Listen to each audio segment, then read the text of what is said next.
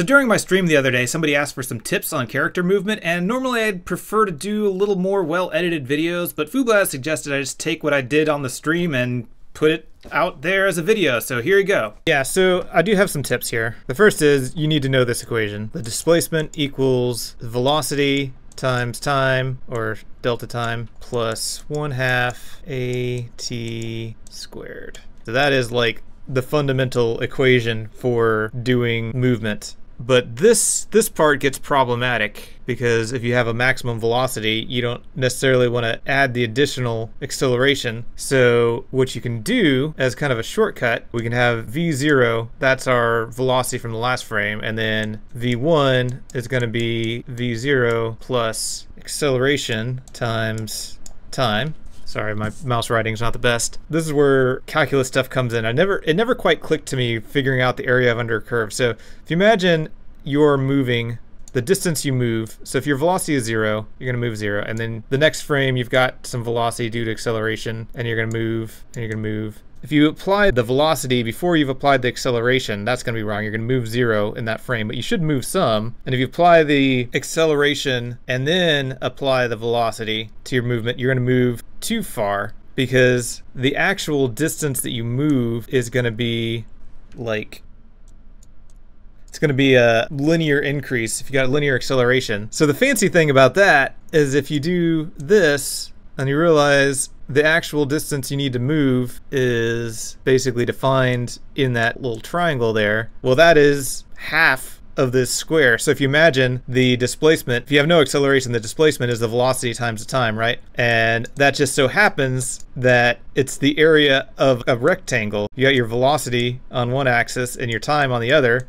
And it's kind of weird to think about that being the area of a rectangle, but if you think of it like that, and then you split that in half, if you've got acceleration, we can take our displacement and say, well, we just take the velocity before the acceleration, and then the velocity after the acceleration, and multiply that by 0.5 to get the average. And that will get you a nice frame rate independent displacement. So the reason why this is important is because the higher frame rate you have, if you're doing your movement on the actual frame rate. Now, if you're doing the movement on the physics tick rate, it's not quite as critical because if your frame rate varies, you're not going to get different jump heights and whatnot. But if you imagine like character jumping, you know, you're going to get this arc of a, of a jump. And if you are applying the acceleration due to gravity first, the actual height that the character is going to jump is going to be reduced. And if you apply it second after, then the height is going to increase. So based on your frame rate, you could be jumping higher or lower. And then if you ever tweak those values or the update rate or whatever, you know, you might have a ledge that you can like jump up to at one frame rate and then at another frame rate, you can't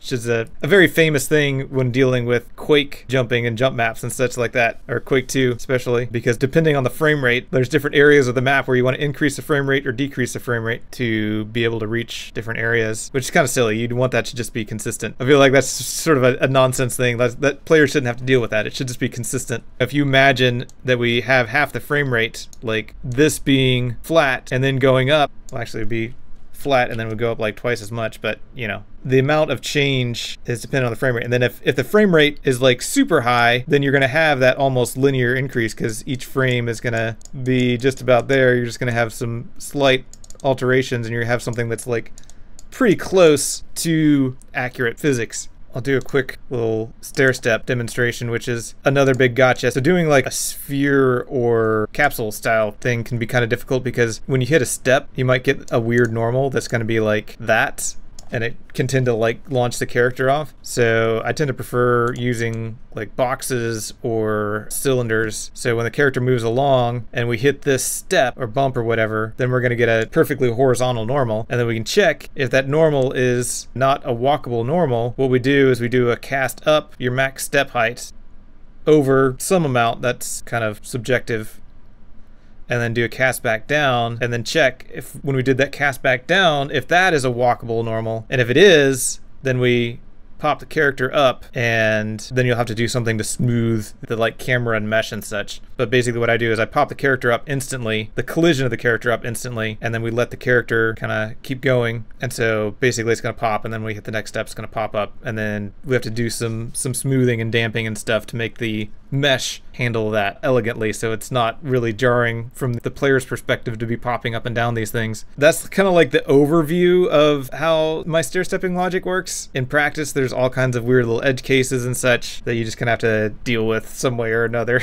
but yeah, that's that's kind of the method that I've found works best. The other big advantage of doing it this way is because you can have lots of different things applying acceleration and depending on how your code is structured it can be really difficult. Like it's like you might be applying gravity in one function and you might be applying input acceleration in another function and then i don't know maybe you've got like a grapple swinging or something that's applying acceleration in another function and then you've got like some gravity grenade or something that's applying acceleration somewhere else. And so trying to consolidate that all into one function so that you can do this can be a real challenge. But if you just do this then all you have to do is at the beginning you say v0 equals whatever your velocity is and then you can you can set your new velocity to whatever wherever and then you just do this calculation. The one gotcha is that you have to make sure if there's something that like explicitly sets the velocity of the character, like if you have a trigger or something like that, a jump pad, and you want to set the velocity like exactly that frame to be some exact value, then you need to make sure that you set it on V1 and V0 so that when you do this calculation later, then it's uh, it's giving the correct velocity when it's doing that calculation. So V0 is just going to be the velocity at the beginning of the frame. So V0 is just basically velocity last frame.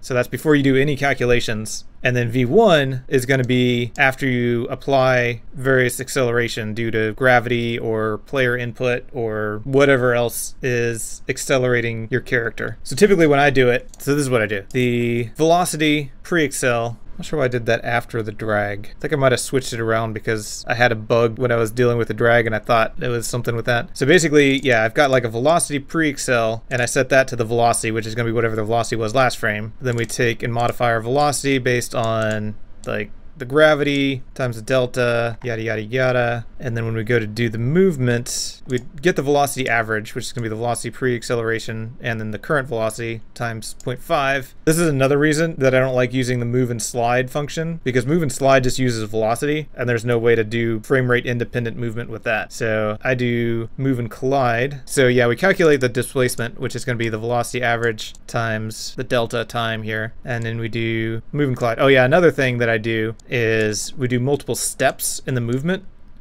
because likely what's going to happen the character is going to be on or near the ground and then you're going to apply some gravity and that's going to add a little bit of downward velocity and then when you do the movement it's going to immediately hit the ground. And if it immediately hits the ground it's not going to move anywhere. So basically what you need to do is you need to handle the collision of that. So you're going to have some vector. If it's standing still then it's just going to be straight down. And then we need to take the normal.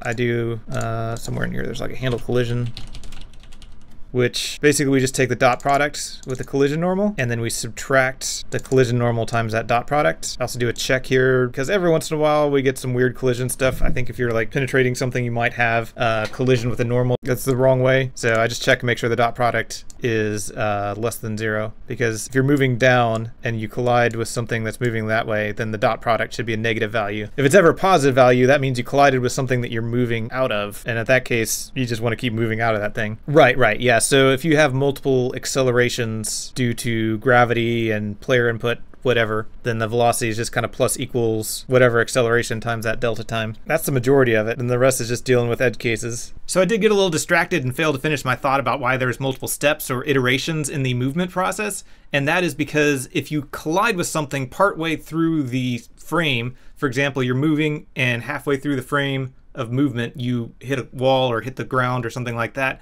you don't want to just stop because that can result in very stuttery character movement. Well, say your displacement was like 10 centimeters or something like that, and then five centimeters into that you collided with something, you'd still want another five centimeters worth of movement after that collision. So if you if you hit a wall or you glance off of something, you want to continue that movement. So you would take the percentage of the movement that you have left and then multiply that by the time and then do another loop through that uh, movement function or movement calculation. Another thing you have to be careful of is so you don't get stuck in an infinite loop. If you're like colliding with something and you can't move at all, you need to have some kind of limitation on that. So you have like a number of retries, like three or five retries before you stop moving entirely and just move on because the character is clearly stuck or it's going to take too much processing to do that many calculations. Hopefully that was at least somewhat coherent and informative. I do want to put together a much better and more well thought out and illustrated video about this topic, but I got the suggestion to just get something out there as it might be helpful to people. And speaking of helpful, check out my awesome patrons. I really do appreciate the support, and if there is something that you would like to see, if you're a patron, be sure to post that on my Patreon or just tell me, I guess, whatever. Uh, patrons do get priority when it comes to figuring out what videos I'm going to work on next. But if you do have any quick game dev questions, feel free to swing by while I'm streaming, which is pretty much every weeknight from around 7.30 p.m. EDT. I think that's close to 0 o'clock UTC, and I go on for, I don't know, five or six hours. And I guess I did do quite a bit of editing on this rather than just posting the stream as it was. Oh well. I just can't help myself.